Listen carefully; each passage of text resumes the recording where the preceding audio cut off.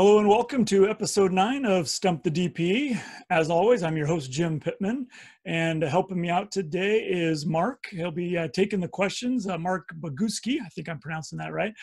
And uh, appreciate you being here, Mark. Um, we'll let you say hi here in a little bit when you unmute. But uh, before we jump into your questions, um, as always, anyone who's here live, thank you. And uh, go ahead and uh, post your questions or that you have a question in the chat box uh, there on the Zoom meeting controls. Uh, just put a note in there for Mark and he'll be able to uh, unmute you so you can ask the question. If uh, you're camera shy or you don't have a microphone, it's okay. You can just type out your question and Mark will share it. Uh, so while you guys are working on that, I wanted to start um, by sharing my screen and uh, showing you something that I was working on uh, a little bit this week, some of my my spare time. Uh, Carl recommended that I go back to our previous episodes and um, put in the description the uh, some timestamps. So here I just pulled up episode two, and uh, when you're looking at it on your computer, just uh, go down to the description, and you can see here we've got the questions or the topics that we had talked about in the past, and all you have to do is click on these blue time links and it'll take you right to those questions. Uh, the main reason Carl suggested it is this stuff is picked up by the search engines. So anyone who's searching for questions will be able to come. And then I also took a screenshot of my phone just to show you on the mobile version of YouTube. Um, same one here, episode two. Uh, and the trick is this little down arrow right here. When you tap on that, it opens up the description and you can scroll down and see the same time links.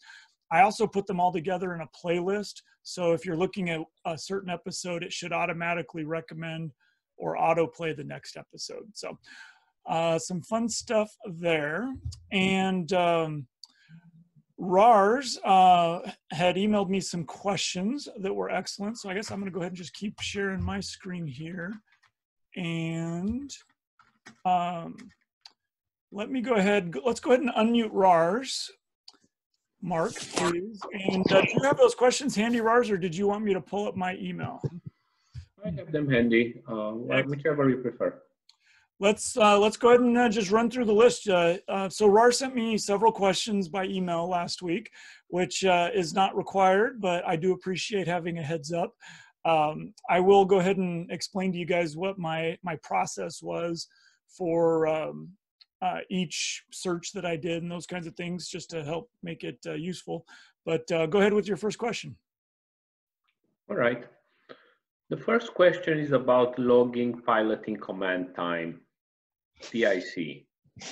And it's, it's pretty specific. So I, I have a sport pilot certificate. And so I can log PIC time. I'm, I'm certified and I can log PIC time but I'm taking lessons for private pilot certificate in a light sport aircraft, so in an aircraft for which I am certified to fly. So my, my first question here was, can I log PIC time while training with a CFI? All right, very good. And Mark, uh, I'm, I'm hearing a little bit of background noise. If you don't mind just checking the participant list there, make sure everyone else is muted. I appreciate that. So logging uh, time, that one I actually do have memorized is 6151. And uh, that's a good one to kind of remember, put it in your toolbox. Uh, there's a lot of good information there. So I just pulled up the uh, ecfr.gov and um, I'm already on part 61. So if you go down to 6151, this is pilot logbooks. And I think it's uh, section E, is an echo, has uh, logging, pilot, and command time. And um, I don't have really any experience myself training sport pilots. That's something just mainly because of the part of the country I'm in. It's not real common, and um, uh, we you know, have complex airspace around here. So most people will go right for their private pilot. Uh, sport pilot is a great option, especially in in uh, you know various places or under certain circumstances. So I wasn't really sure when I first saw your question, um, but I knew what I was looking for, and that was this word right here um, under 6151 Echo logging pilot and command, my question was, is sport pilot listed in this paragraph? And the answer is yes. And what this section says is as long as you have one of these pilot certificates, and of course this is all FAA rules, then um, it says that uh, except for this exception, um, when the pilot is the sole manipulator of the controls of an aircraft for which the pilot is rated. And I think this came up on our last episode briefly, um, but those are the key words right there is that you're sole manipulator of the controls. And, uh, or um, has sport, sport pilot privileges for that category and class. The reason they have to do that separate is because on your sport pilot certificate, it does not say single engine land, does it? it I, I, I don't even know if I've ever seen one, but it should just say that you're a sport pilot and it does not have category and class the way that it, our other pilot certificates do. Instead, you have an endorsement from your instructor saying that you can fly single engine land, correct? Uh, let me go and take my pilot license out and check. Yeah. If you've never noticed, that is a difference. If you compare that to a private or a commercial or an ATP, uh, where we have a category and class um, right on our pilot certificate, excuse me, the uh, sport pilot's different. Uh, you actually just get a sport pilot certificate and um, and an endorsement for each category and class, which is kind of cool. Um, the um, that the instructor can do that. So that's the way the verbiage is. Um, and uh, so what does it mean? The, the next question would be, what does it mean to be rated in an airplane uh, or an aircraft? And the FAA has written letters of explanation to clarify that. And it means uh, type rating if a type is required, like for a jet, or category and class. So as long as you've got, in your case, the endorsement for sport pilot, and single engine land is what we're talking about, then as long as you're sole manipulator of the controls, the answer is yes, you can log PIC. And you found your pilot certificate. It doesn't say yes. single engine land on the actual certificate, does it? It does not. And it does say on the back that is endorsed for single engine land, like you said. So they do print the endorsement on the back of the certificate? Yeah. Interesting. Okay, there you go. Um, but you would not need to get a new plastic certificate. My understanding is if you were to go add um, uh, a weight shift, you know, class or something like that, um, then uh, the instructor would just give you the endorsement. You'd be good to go after you receive training in that different category class. All right, so uh, that's the first one. There's some more details here you can go through, but that's for your specific question. Uh, oh that covers that. Mm. Uh, and let me ask you, there's a follow-up question. So, so I can log PIC time if I'm the sole manipulator of the control while training.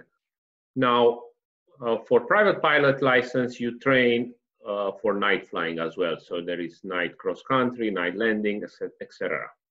Mm-hmm. Now, as a sport pilot, I'm not allowed to fly at night. Same so, thing, you would log the nighttime and you would log it as PIC because you are still the sole manipulator of the controls in an aircraft in which you're rated. Okay. Um, yeah. That that yeah. That, and exactly. and even I mean, since you're already a pilot, um, and of course this is assuming you're flying a light sport aircraft because that's what you're qualified. Right. Yes. Uh, then um, even the time, like if the instructor wanted to take several minutes and demonstrate maneuvers, um, definitely during the day you're still pilot in command because you are rated in that aircraft. Um, so, but usually in training, you're the sole manipulator anyway. And if the instructor demonstrates something, it, it, you know, it takes a very short amount of the time. So, um, you know, rounding error is different than that. So, uh, in most cases, so yeah, yeah, I would definitely log it as PIC uh, day or night. Um, now, if you go get into a, a 172 or something else as a sport pilot, um, that's a whole different situation. We're just talking about you flying the airplane or the type of aircraft that you're qualified in. Right. Good. All right. Cool. What else you got? All right. So now uh, I have some question about landings.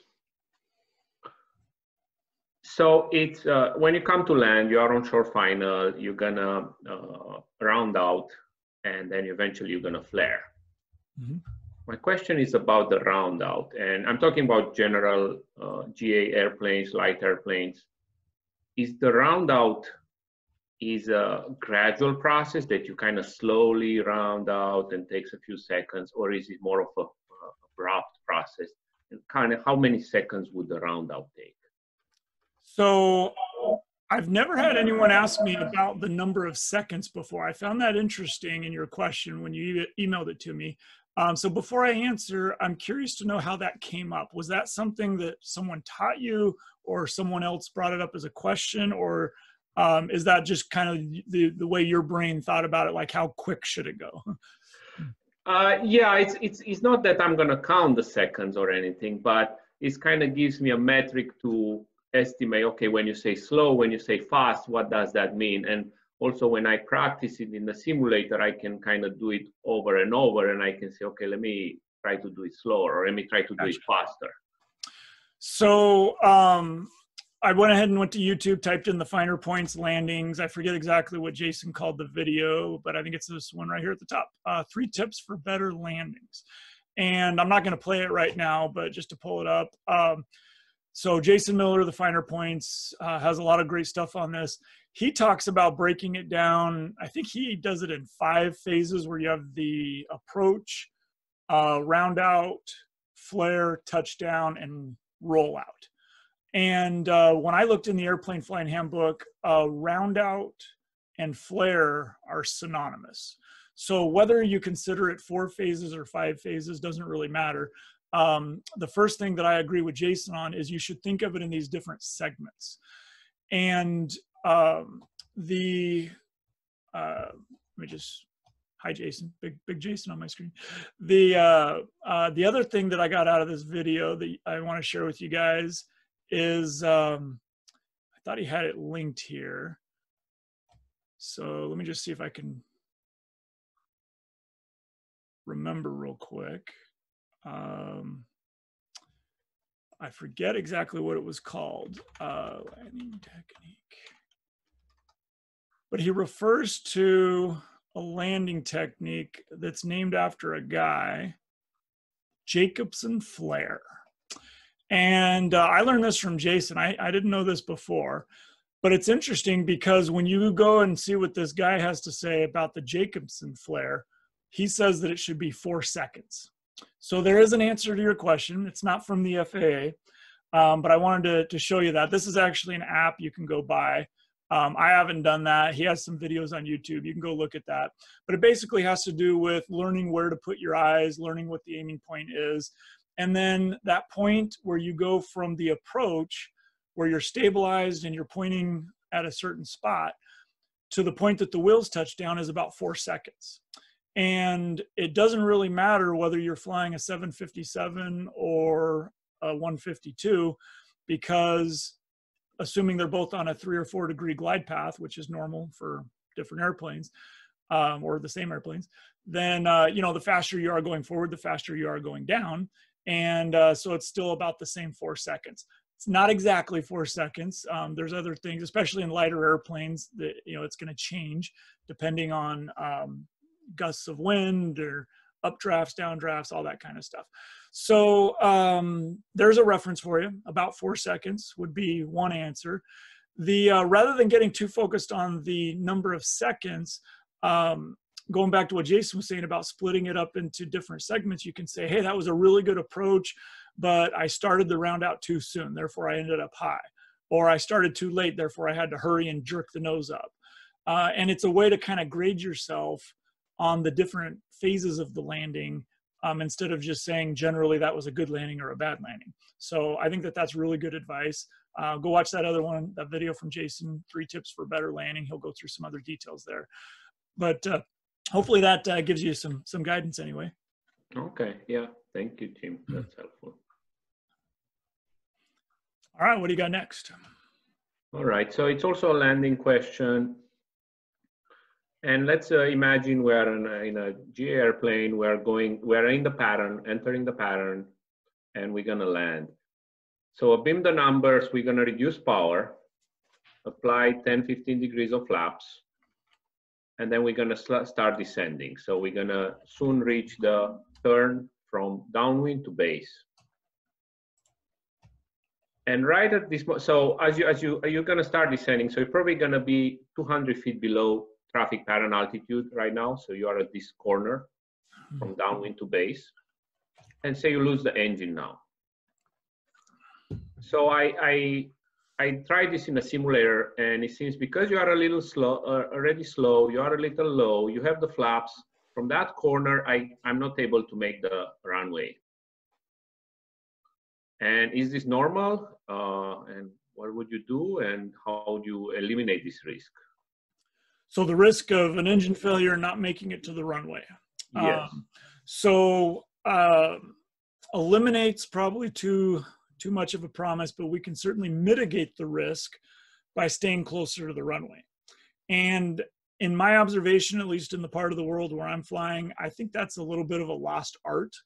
Um, the um, maybe that's the wrong way to say it. So engines have gotten a lot more reliable in the last 50 years 80 years whatever you know time frame you want to look at but but certainly in the last 20 30 years uh, engines have, have become a lot more reliable. So you know it, it wasn't that many years ago like uh, a couple generations ago of pilots where an engine failure it, it really wasn't a matter of if it was when and and it was just part of learning to fly is hey we're going to have an engine failure sometimes so um, what i was taught even 27 years ago when I started flying is uh, always stay within gliding distance of the runway.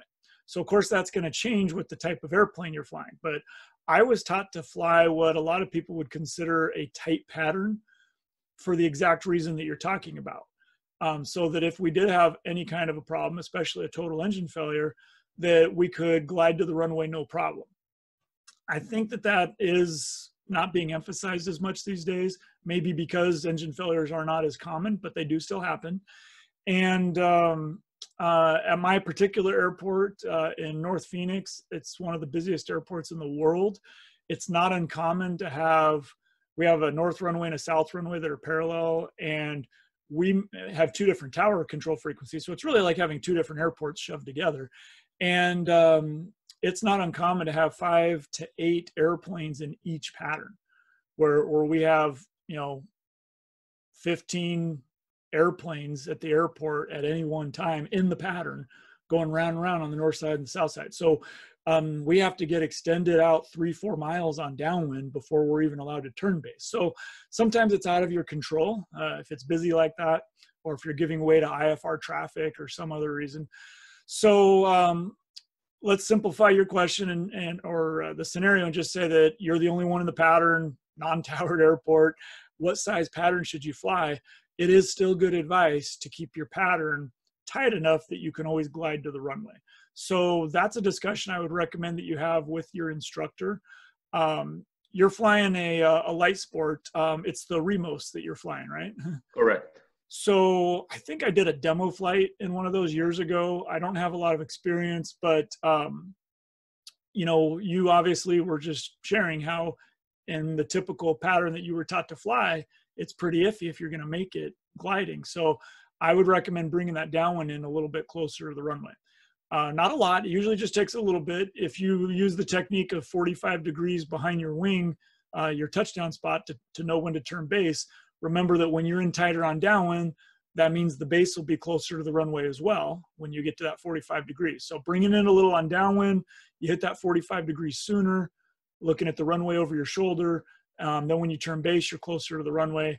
And um, I think you'll find that that, that works out um, pretty well.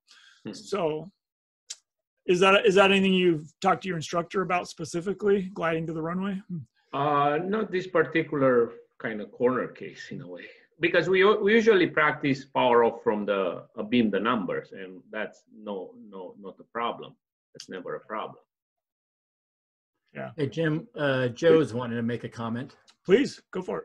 Uh, if you can uh, you should be able to unmute yourself. Okay can you Joe Stanley. Hey buddy glad you made it. Hey um can you hear me okay? Yeah sounds great. Did you get a new microphone? No it's the same one. Uh, okay so the suggestion is if you read the FAR AIM, um, it says that you should complete your your turn to final within a quarter of a mile from the runway. That's a suggested um, uh, thing in the FAR AIM.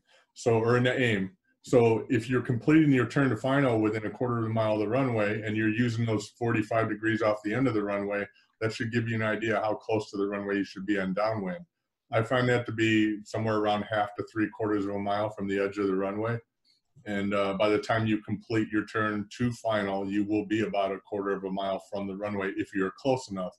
If you're a mile and a half out, which I find a lot of people doing nowadays, which is really annoying when you're trying to teach students the proper traffic pattern procedures and to remain within gliding distance.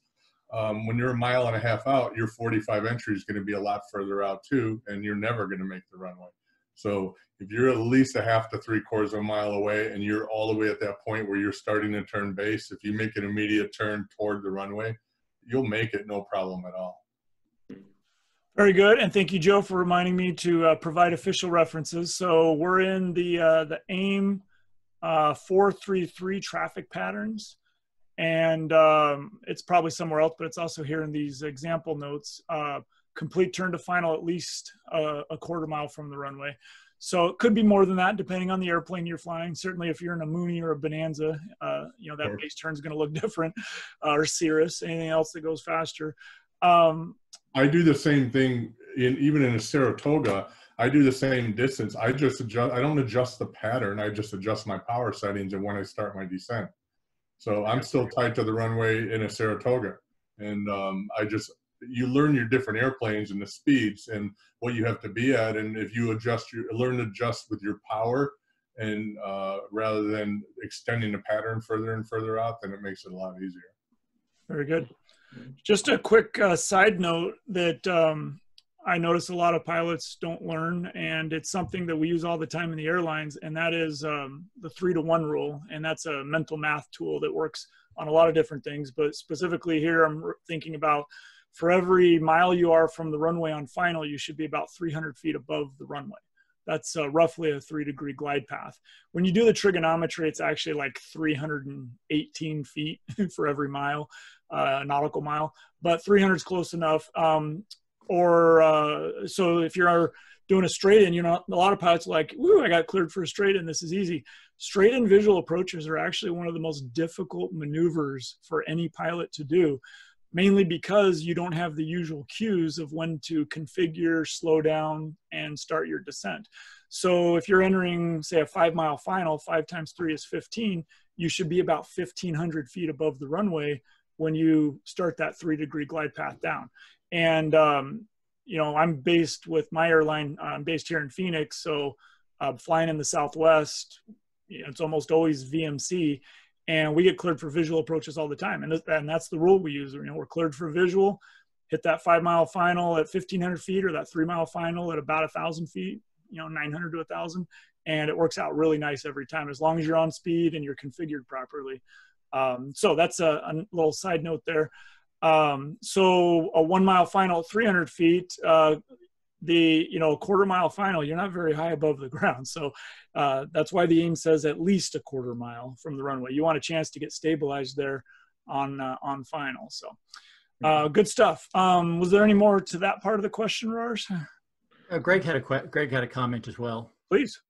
Hey uh Raris, this is a, a trick that actually I learned relative to emergency landings, but it's great for this question you've asked it, when you're at that point, uh, opposite the point of landing, when you make your power reduction, visualize your path for the rest of the way to touchdown, the rest of downwind base. knocked over my mic, excuse me. Uh, visualize your path like a string. Think about a string extending from the from the nose of the airplane down around those two corners. And the significance of that is that you can control the length of that string, right? So if there's a tailwind or if you're configured a little, little differently than usual or you know you lose an engine you're always visualizing that string and you can shorten that string right by cutting the corner if that string tells you visually that you're not going to make the runway then you have given up that opportunity to perhaps continue the approach and touch down. And the other way this works really great, which is where how I learned it, and I don't remember from whom, unfortunately, is for emergency landings. You know, most of us uh, teach that you should find a, a someplace more or less below you and circle down because that's another place where straight in never works. And uh, if you circle down and put yourself at a point where you would make the power reduction in a normal landing relative to your emergency landing site. Every time you circle around once more, you think about that string and think, is this the time? And then you can control the length of the string to get to the runway. But uh, it, it gives you, I recommend thinking about that every single time you're at that point, every time you fly, so that you become, that string gets more and more accurate with your experience it's very effective way to determine whether you're too far out and what you need to do if you lose the engine. Great. Yeah, yeah. Greg, you sound like a pilot that was taught to fly gliders early in your career. Touche. that's awesome. Um, I've never thought of it as a string. I, I like that's a great visual. Um, I'm going to start using that. Um, kind of going back to the straight and landing. You know, imagine you're coming in on a on a three, four, five mile straight into your runway. You're nice and stabilized. How do you know when to go down? Not only is there the three to one rule, but thinking of that string in your mind's eye, imagine a normal pattern where you're looking out at the runway in front of you and you, you see the normal downwind base and final where you know where to do configuration and power changes. Just take that string from downwind to beam and pull it out to where you are on final and that's the same distance that you would normally travel downwind base and final. So just kind of visualize that string stretched out and i think that's a great way to do it so. Good stuff. All right rars keep her going. All right. Uh, so the next one is i have some graphic. Uh, it's about performance. Uh, you want me to share the screen? Yeah go ahead. You should be able to share yours. all right let me do that. Uh, can you see? Yep that's perfect. Mm. All right, so this is a performance table I, I pulled out from the airplane I fly. It's a Remos GX, and it has a Rotax engine. And the, the POH list this table is for the specific propeller and just gives you one table. And basically you have engine RPM here, and then third column is the airspeed, true airspeed. And it gives you true airspeed at 3,000 feet pressure altitude, uh, with this engine setting, you're going to get this true airspeed. Mm-hmm. Now, my question is, what about if you're flying at 5,000 feet? Well, you don't always do all your flights at 3,000 feet. Come on. that would not work here in Arizona. Uh, I'll tell you that. So, um, great question. Again, disclaimer I've never been checked out on the Remos, uh, but you were nice enough when you emailed me, you included the link to the POH. So, um, it may be different for different manufacturers. So the the educational part of this and what I did first is I went looking in the notes that are in section five of the POH and the introduction of section five of the POH to see if they had any calculations that could be done uh, that are approved by the manufacturer. And clearly, uh, so I've I have been checked out in the um, uh, oh, no, I'm not remembering the uh, A5, the Icon A5. Uh, a couple years ago, I was doing some work helping to ferry those around. Cool little airplane, by the way. And um, so that one I did have official training. That's the only light sport that I've received factory training on. And the POH is very similar to what you see here with the Remos. There's not a lot of information. So clearly, the requirements from the FAA uh, are not as detailed when it comes to a light sport aircraft. And I think part of that is because it doesn't really matter as much, uh, meaning the um, the altitudes that you're flying at, uh, you're not you're not having a big change in altitude typically with a light sport aircraft, and a couple you know knots difference in true airspeed, uh, you know, with changing altitude isn't going to make that big a difference. So they just give you this generic 3,000 foot chart. I was not able to find anything in the Remos book about um, any calculations. You obviously already looked, you already knew that. Uh, just to point out though, for the takeoff and landing, where things are a little more critical, they give standard numbers, but then they give tables of um, factors. So if you're doing it on grass, you know, add this percentage. If you're doing it at a higher altitude, do this percentage for each thousand feet. So for takeoffs and landings, there are formulas or calculations to be done to figure out um, more accurate takeoff and landing. So that makes sense. But here at Cruise, um, the answer is no. that's that's my answer for you to your specific question of can you calculate for 6,000 feet? The answer is no. That being said, um, go ahead and stop sharing your screen, and I'm going to share mine. and on a related topic, um, there's uh, so the rule of thumb is the uh, to talk about the difference between indicated airspeed and true airspeed. For every thousand feet you go up, it's about a two percent. I'm sorry, yeah, two percent increase for each thousand feet. And um, so I went and found Boldmethod. Um, they have this uh, why are true airspeed and indicated airspeed different? And uh, it's a great video. Not exactly the question you're asking about but um, they get into some details about compressibility and things that are interesting. But uh, i thought this was great to go ahead and show you guys the um, the calculations because uh, Boldmethod does a fun job putting these graphics on their videos. They have special uh, software that they use to show like a heads up display right on their videos. So this is real data in their cirrus uh, they're somewhere in Colorado and they climb up to flight level 240. So, um, starting at sea level, the, again, the rule of thumb is that true airspeed will be 2% greater than indicated airspeed for each thousand feet. Well, here we are at 7,000 feet. So, grab my calculator. And um, so, two times seven is 14%. Well, you see, we have an indicated of 89. So, we go 89 times 1.14 so that's a 14% increase. And that means our true airspeed should be 101.46. Look at that. So that's kind of cool. And then we take it up even higher. And here we are. Let's go up. There's nine. All right, 9,000 feet. Let's just do this a couple times just to show how it changes. So 9,000 feet would be 18%, just, you know, double how far you are above sea level. Um, so 125 is our indicated. If you don't have a fancy glass cockpit that calculates your true airspeed, just take that times 1.18 and our true airspeed should be 147.5. Look at that. I mean, it's within a knot.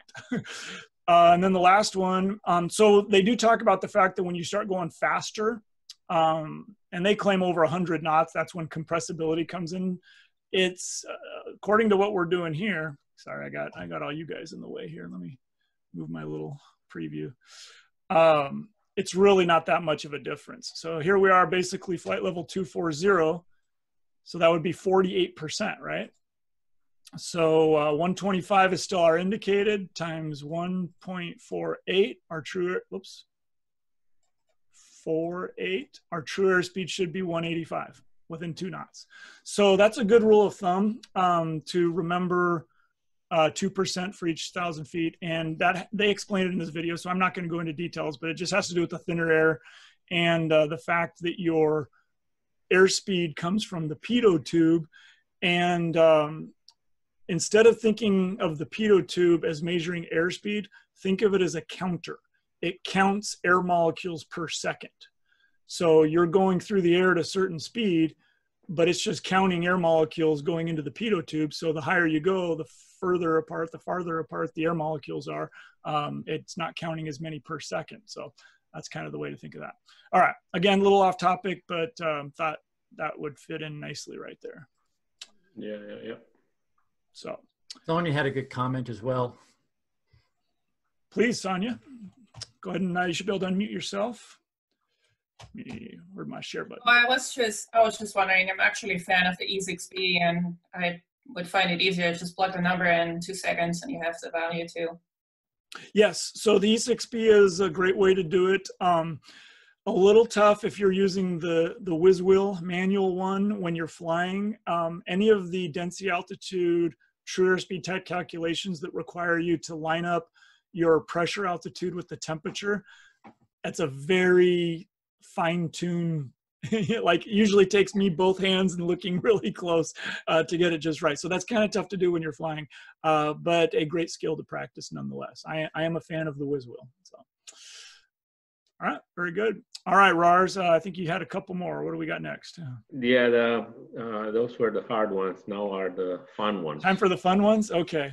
I hope I know what you were getting at with these. We'll find out. so. so this is a picture. This is a satellite picture I took from Google Earth. So what's wrong with this pavement marking? Well, I'm not sure that I believe that that's a. Is that really a satellite picture? Is it is it photoshopped at all? No, it's not. It's a That- real. That's a real picture, huh? Yeah. Um, so I don't know that anything's really wrong with it. It uh, the first thing that went through my mind when you emailed it to me is, wow, those runways are sure close together. Um, there's not a lot of room between the runways. Um, the uh, what airport is that? I'm just curious. Uh, it's uh, let me let me uh, well uh, let me pull it out for you and Yeah, then I'll Yeah, that'd be great. Uh, it's uh, it's in Hawaii actually. It's Honolulu. So while you're doing that, um, the only thing that caught my attention that I think you might be getting at is something that came out, uh, you know, recent history. I, I forget how many years ago they started doing it, but um, they're called enhanced centerline uh, markings. I think is the official term, and that is um, at certain airports they started doing this uh, where within 150 feet of the hold short line they started adding the uh, dashed lines on each side of the taxiway line within 100 feet of the runway hold short line. So it's a way that a, a pilot who's not familiar with the airport or not paying attention, um, if you're at least watching the center lines of the uh, of the taxiway as you approach a runway, uh, you'll see the these enhanced markings that let you know you're within 150 feet. These runways are so close together that it's there is no 150 feet there. Um, so it's they just have those enhanced lines right in between. So yeah, those those are definitely close together. Uh, what what airport did you say this is? Uh, Honolulu. Oh, Honolulu, Hawaii. Yeah. All right, very good. so, So I have there. flown there. One time, my my wife and I, when we went out, I uh, hooked up with a friend that uh, that I knew from my Cessna days, and we rented a 172. Man, that was that was beautiful. You guys, actually, those are the first pictures that come up. If uh, anyone wants to see, go to because they're chronological order, and this was years ago. Um, go to my website, flywithjim.com, and over in whatever the right menu is, resources. I have Jim's flying pics, and the very first ones that come up are are that flight around uh, Honolulu. We actually went all the way around uh, um, the island. So anyway, so what was, was I on the right track, or or have you officially stumped the DP?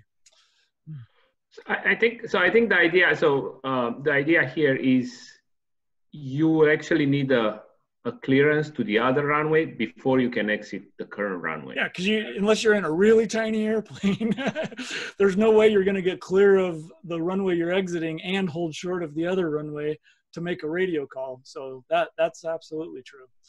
So is that mainly what you were getting at? Uh, actually, hold on a second. I think Looks like they moved them. You can see all that dark black, like they used to be in a different location or something. Hmm. I think. Oh, this is what I wanted to say. Oh, great. See, now I don't have time to do my homework. I see how you are. All right. Um, How about we- this one? so we have multiple hold short lines. That's unique.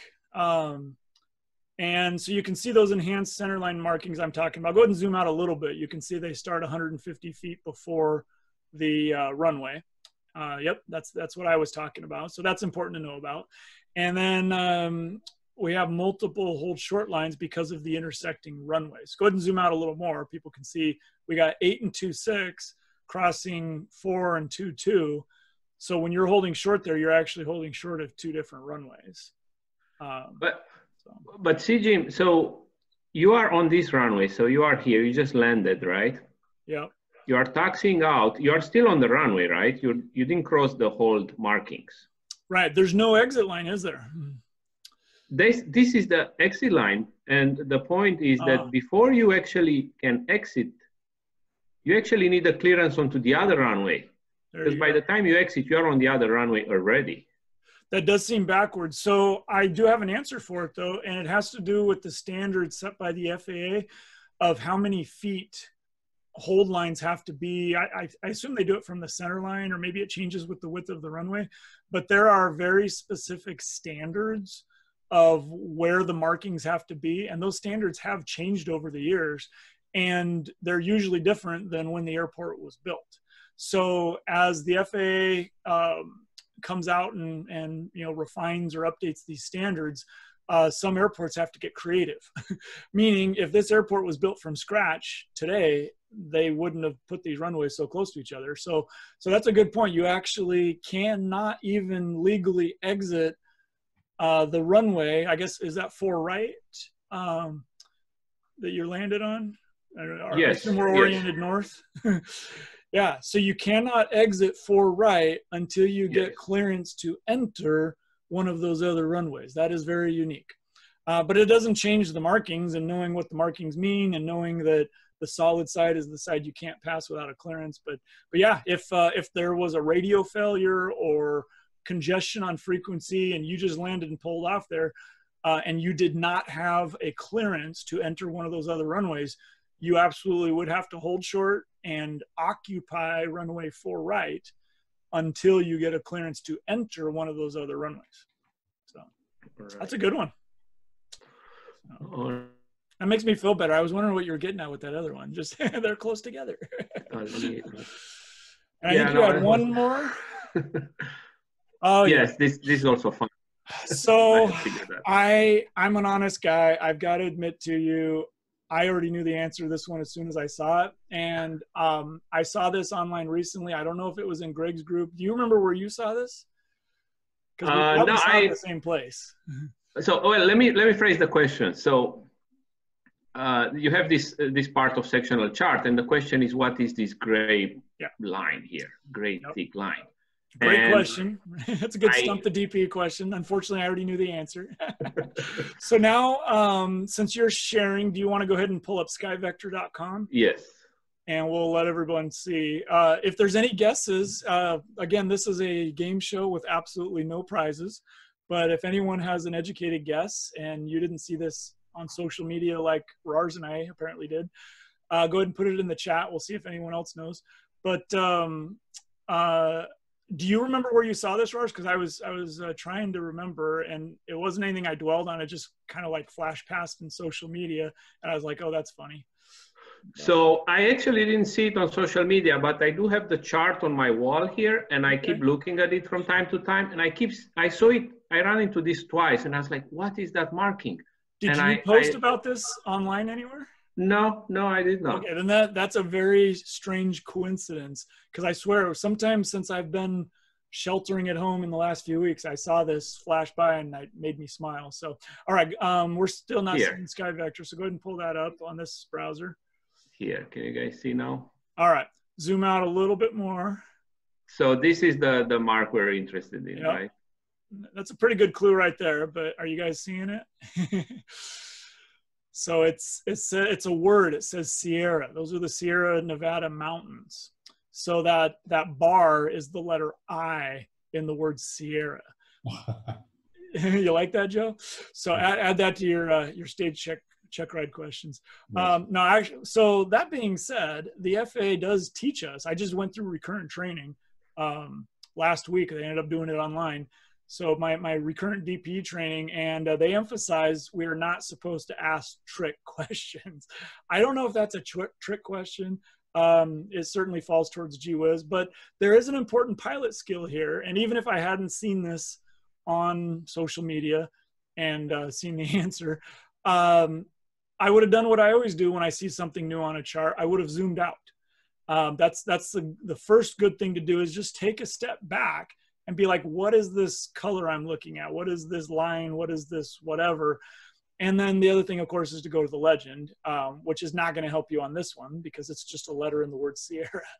so, all right, that was fun, Rars. Uh, thanks for being prepared with so many good questions, and, and thanks again for uh, giving me a heads up, so I uh, I could do uh, a little bit of homework looking at that POH and the other stuff. So, cool. And is, is that good, Rars? Any any other follow up questions on any of that?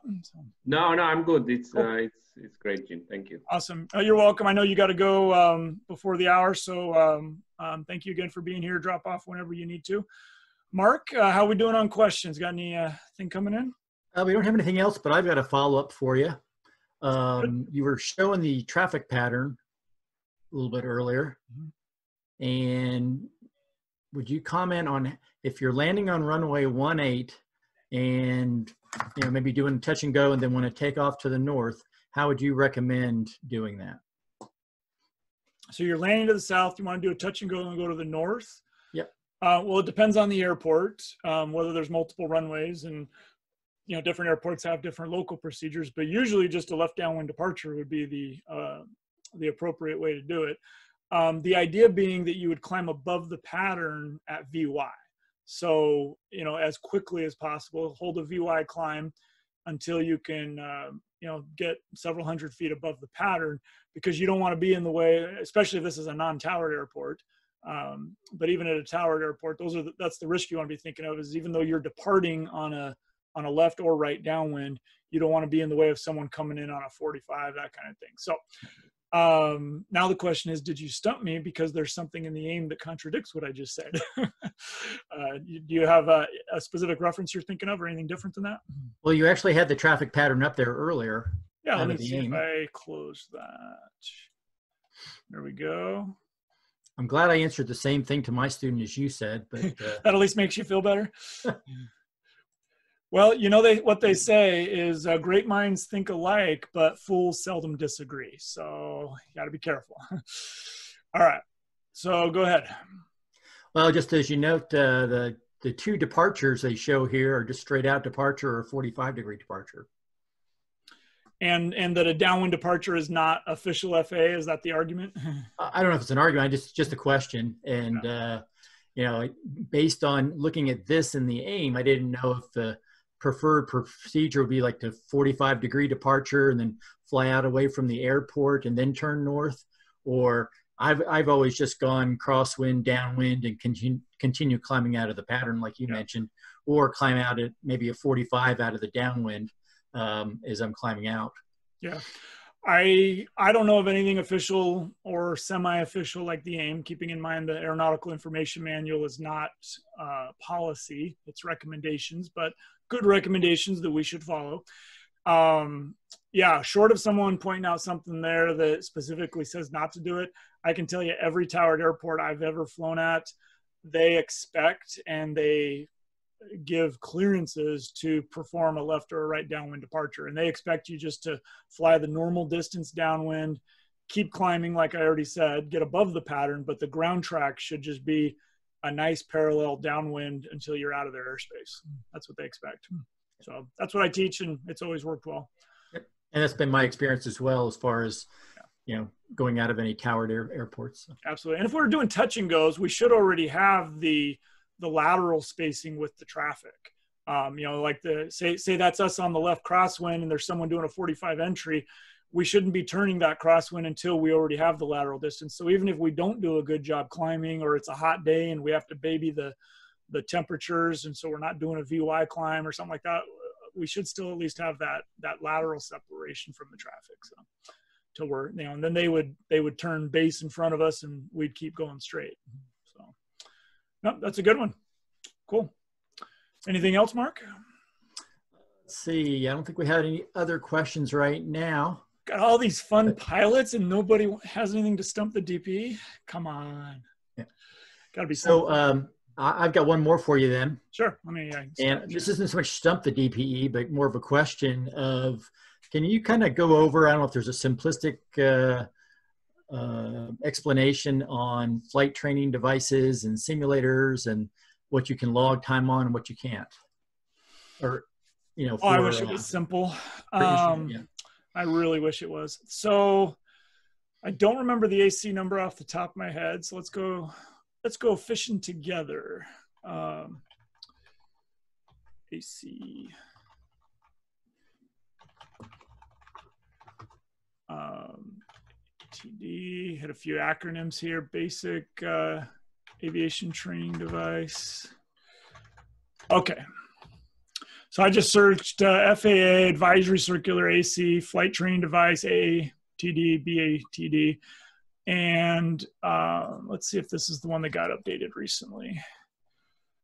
2018 i think that's it. September 2018 was when they did a big rewrite of uh, the policy. It was it was about then so i'm guessing that's it. Let me just see what else we have here. Afs 810 that looks about right just open a couple here all right training device as a oh here we go 2020 Um, oh, this is by manufacturer. So there you go. Okay, so that might be an interesting reference if you're um, wondering about a specific make and model. So that's right on FAA.gov. If you search for FAA approved aviation training devices, this should come up. Uh, let's just read here for a minute or so. So 61 for Charlie. Hmm.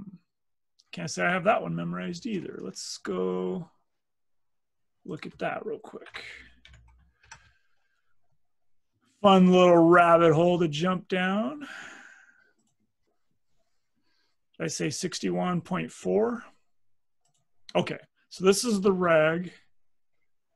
ENC, do do do. For which university?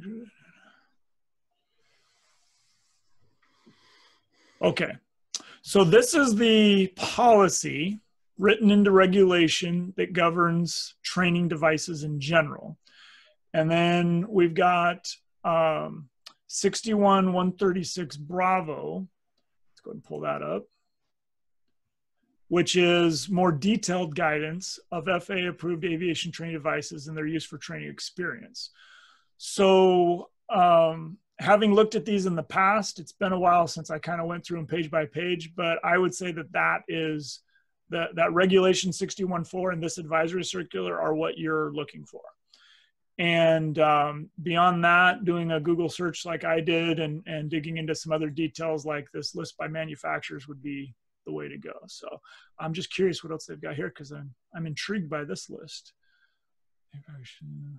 So I talked to you a few episodes ago about 8900.1. That's the fsims.faa.gov, uh, um, which is policy regulation from the FAA. Um, there is a difference between ATDs and FTDs. They talk about that here. They talk about the letter of agreement. We we talked about that uh, on a couple episodes also. I think the last one included about going by what's in the letter of authorization. And the letter of authorization can be different than current regulations and still be okay because somewhere in that reg, it might even be in that part 61, it talks about approved by the administrator or otherwise authorized or there, there's like a catch-all somewhere yeah. it's not jumping out at me. But that otherwise authorized means the faa already gave a letter of authorization for that particular machine that allows you to log certain time in it. So that's why my first answer when we talk about logging time is always go to the letter of authorization so if you go to 60, uh, 61.4 and look at C, I think it said the administrator can approve it. There it is. Yep. The may approve a device other than that for specific purposes. Boom. So there's a catch-all written in the policy. So that's a good point. Um, so I was just, this caught my eye. It's in bold. Copy of the LOA must be provided to any individual using pilot time logged in the, so in the past, I, I wasn't sure when we talked about this on the last episode, whether that letter of agreement has to be displayed. You know, like when you, um, you look at the requirement for having the airworthiness certificate in the airplane, the reg specifically says it has to be on display. Now, that's why the manufacturers use that clear plastic that you slide it into. Um, and that is a great check ride question, by the way. Is you know if if if the registration is covering it, or the airworthiness is turned around backwards, or there's you know weight and balance papers in front of it, it's not on display. You're not legal to fly. Uh, little tangent there. That's airplanes. For the simulator, the um, letter of authorization doesn't say that it has to be on display, but I, I have heard or read this before. It has to. It must be provided to any individual. So the flight schools that I've done business with, um, or where I was the chief flight instructor, we had a three ring binder um, where you know it was like the Hobbs meter, uh, the accounting book, but we also had a, a, clear plastic protector that had the LOA either in the book or we actually framed it and hung it on the wall next to the simulator. Um, because of this very reason anyone who comes into the flight school or the flying club to use the sim they need to know what they're authorized to log, and that letter of authorization is the official from the FAA for that machine. Um, and like we saw with the Redbird, you can just Google it and pull it up a lot of times. So a lot of good stuff there. I'm, uh, I'm actually going to save this one in my flight training aids. Bookmark that. All right, cool. Good, uh, good question. Good discussion. Very good. Anything else coming in? Uh, let's see. We've got one here. Uh, Sonia has a question. All right, go ahead, Sonia. Um, about logging time and also how does it apply to, um, well, about logging time, I'm just uh, starting to get somebody offered to act as safety pilot and a bit confused about what can be logged, how it's logged, and whether any of that log time counts towards training. Very good. Yes, uh, that one gets really confusing. So the good news is um, there's some good information. I'm thinking of an AOPA article we're going to go look up here real quick. Um, just to clarify the scenario, you're a private pilot working on an instrument rating. Yes. And you have a safety pilot who is also a private pilot. Um, aircraft, single engine land, same category class, all that. So, okay. So let's share. Actually, my, my question was more directed towards um, if I'm acting as safety pilot uh, for somebody who's working on their instrument rating. Um, so I'm just typing in AOPA logging time as safety pilot. Let me give you the answer and then I'll show you the reference. When you're the safety pilot, you need to agree with the pilot flying that you will be the one acting as pilot in command while he or she is under the hood. So the time, let's just say it's a two hour flight with 1.6 under the hood. In your logbook, you would put 1.6 total flight time, PIC, single engine land, all that stuff, and not log anything for landings and just put in the remarks that you were the safety pilot. Okay. You don't have to say who it's for, but I think it's good to write in their name. Because you are literally, or officially is a better word, you are officially acting as the pilot in command as the safety pilot while they are under the hood.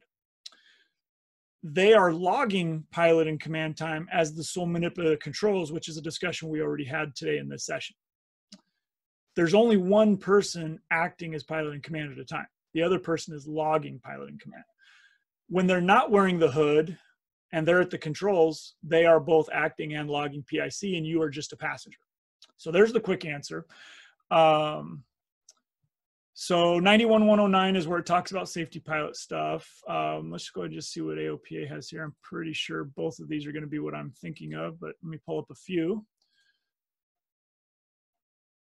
Uh, that's not the article I'm thinking of. This is something online members only but uh, that should say exactly what I just said. There's the reference we looked at earlier, 6151 Echo.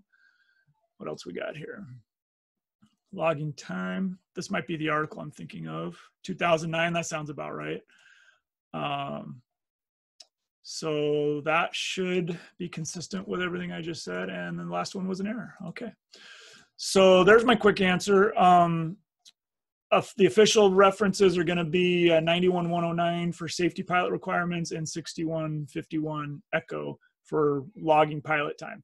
Aopa did a good job clarifying what i just explained about acting. Actually that you know let me search for that. Um, acting pilot in command.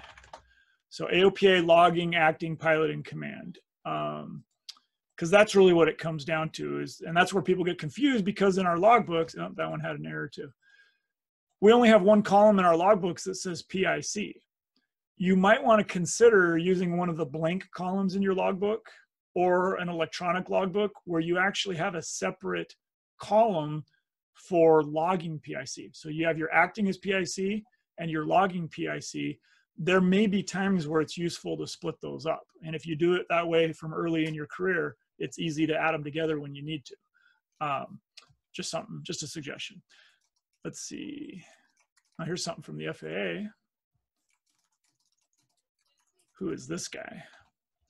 This is from a field office, so he doesn't have his signature on here. This looks like something he replied in an email or something, but it could still be good info. Um, talking about the same stuff we're talking about. Um, defining the pilot in command, yeah, I'm confident. You guys are going to see there's this sole manipulator the controls. There's 6151. Yeah, everything you find should be very consistent with what I just shared. Be careful when you go to pilot forums where the answers are coming from fellow pilots. You don't always get good information that way. Try to stick with a trusted source, at least something like AOPA. But does that answer your specific question, Sonia? Um, yeah, I actually have about a dozen questions for um, safety pilot. The other thing is, if I log PIC but don't act as PIC, would that count towards, for example, cross country hours if we're over 50? Uh, so now for that to happen with a safety pilot scenario, that means now you're the pilot flying and you're wearing the hood. Is that what you mean to, to ask? Uh, no, still a safety pilot. Um, as safety pilot, even though you're acting as PIC, you're not the one navigating. So you should not log that as cross country. Um, when you look at the general definition of cross country, it basically says, and this would be 61.1 definitions, to count something as cross country, you need to be a pilot in an aircraft and you need to go somewhere other than where you took off using some type of navigation. I'm, I'm not quoting it exactly, but it basically says using pilotage, dead reckoning, or radio navigation. And I always thought that was interesting. Like, why did they have to put that in there? If I get from point A to point B, didn't I get there somehow? you know, didn't I use some type of navigation if I made it? And um, I think that the reason that they knew they had to do that is because what if you have a student under the hood and the flight instructor or the safety pilot just vectors them all the way to the airport and tells them to take off the hood when they're on short final? Did the pilot flying really navigate there? The answer is no. So you really shouldn't log it as cross country unless you navigate. So the idea, and, and it can be as simple as GPS, that's radio navigation. So the pilot flying who's under the hood follows some type of navigation, probably GPS, to get from airport one to airport two. And because they're the ones that did the navigating, they log it as cross country. You can't double dip on the cross country. Only one person logs the cross country. Uh, the safety pilot gets to log the um, basically can think of it like conditions of flight, like day or night. So if it's a night flight, then you both put it in night in your logbook. Um, and total time again would go in the let's just say the pilot flying wearing the hoods in the left seat. So left seat pilot flies the whole flight time. The right seat safety pilot only logs PIC the time that the left seat pilot's under the hood. Cross country only goes to the person who's actually on the controls, flying and navigating. Uh, landings only go to the person doing the takeoff and landing. Did I miss anything? I think that covered, I'm thinking of all the columns in a logbook. Uh, of course, if it's single engine, multi-engine, that goes to both people. Um, yeah. All right. What else you got? I got more for that. Keep it going. We're good. Um, so I'm working on my complex high performance rating about halfway through by the hours required by the place I'm renting for for insurance purposes. But um, I'm getting a little bit of confused background as to what if um, somebody asked me to add a safety pilot um, where I'm not checked off, but I'm working on it. So um, real quick, I, I, see that we're going over an hour here. Um, again, no time limit on these, but if anyone has other uh, obligations or uh, appointments you need to go, then uh, by all means, uh, don't feel like you're trapped here. Thank you for being here live. We, we appreciate you guys. Uh, let me go ahead and go back to the ECFRs. Oops, do it up here.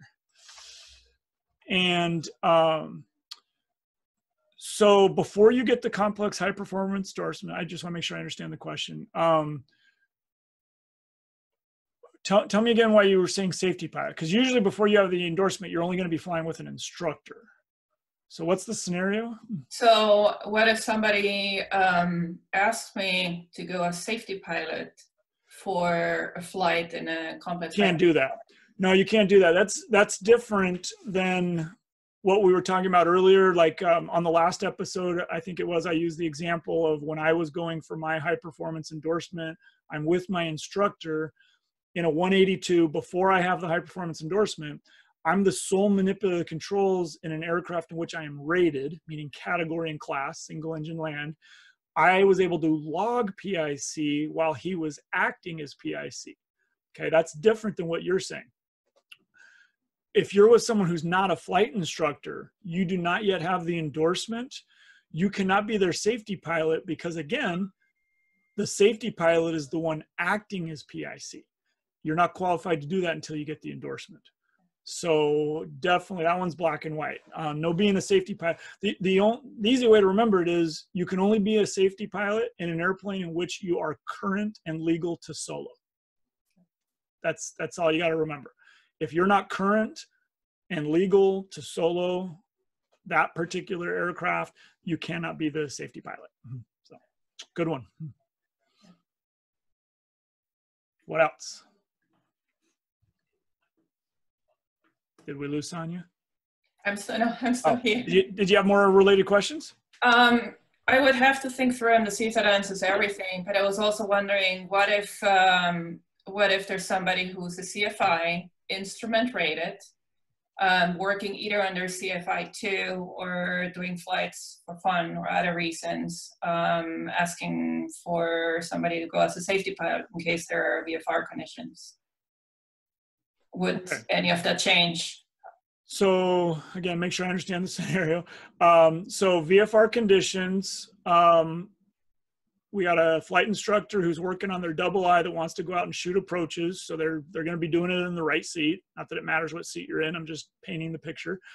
Um, they want to go under the hood to practice flying instruments from the right seat. You're asking what what are the qualifications for their safety pilot that's going to sit in the left seat? Is that the question?